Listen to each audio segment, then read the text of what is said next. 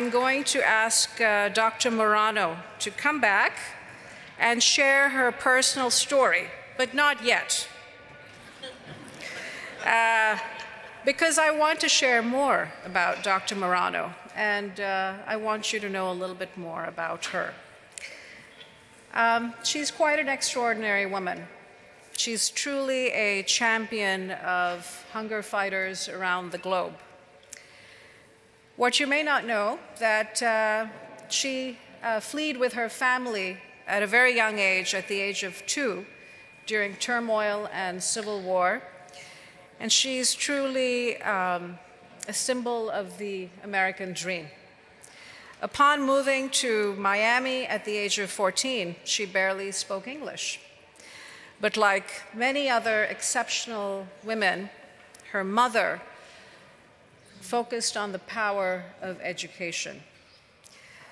Dr. Murano would eventually go on to become the first woman, the first Hispanic American, and one of the youngest people to be named president of Texas A&M University and a very passionate Aggie.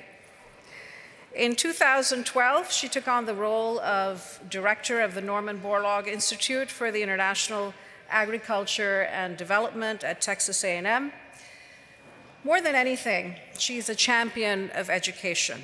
And like Dr. Borlaug, she has a strong focus on inspiring the next generation of agricultural innovators. Please welcome my friend, a member of our World Food Prize Council of Advisors, Dr. Murano. And Dr. Murano, I'm really going off script here because I never thought I'd say this. I'm a UT Austin grad, but Gig'em Aggies.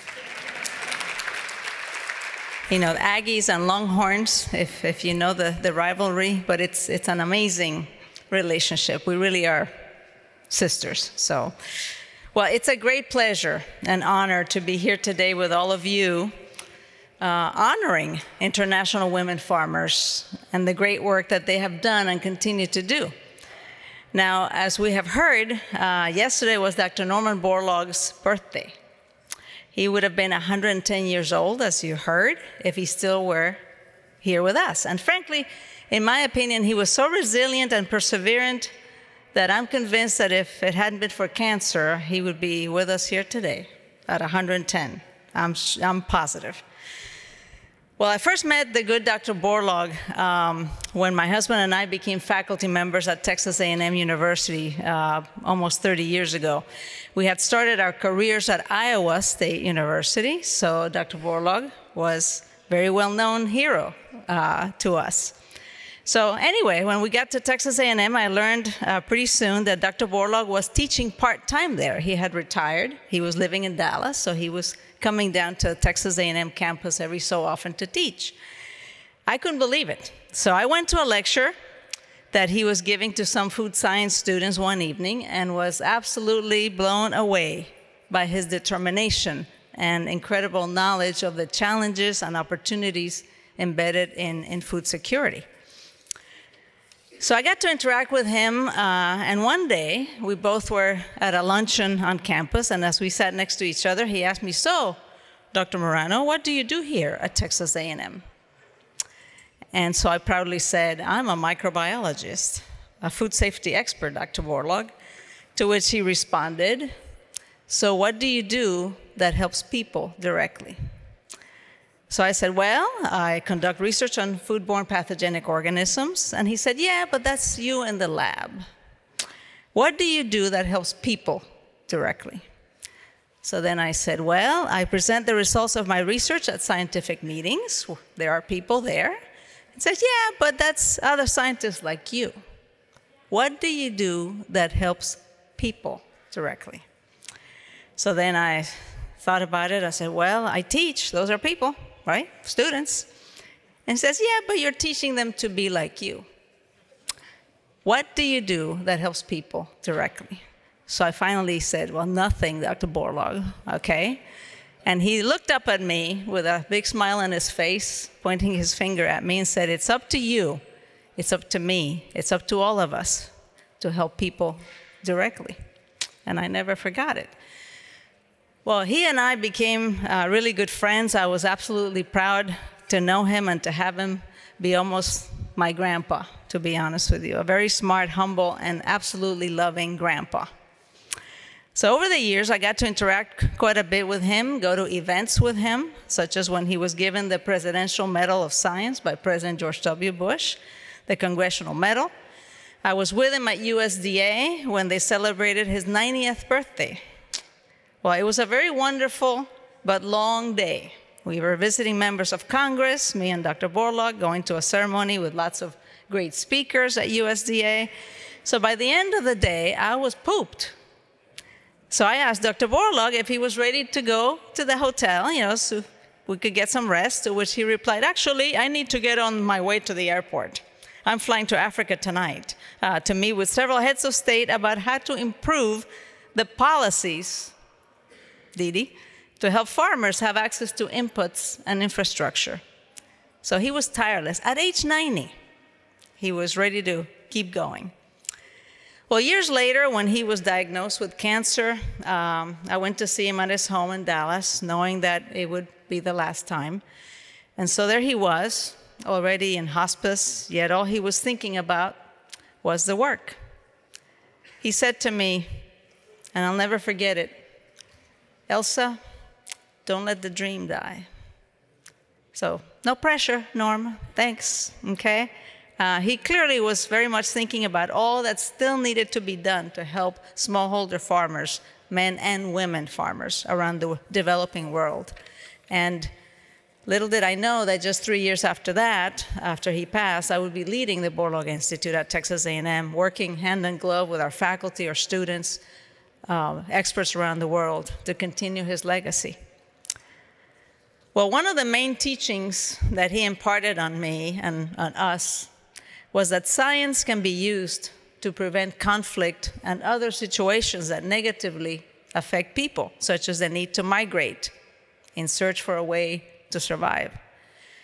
Well, we certainly put this to good use when we implemented a project funded by USAID in Central America, where we introduced a disease resistant coffee variety that helped restore production of this very, very important crop we trained over 22,000 farmers, including over 5,000 women, in climate smart coffee production practices using this new coffee hybrid.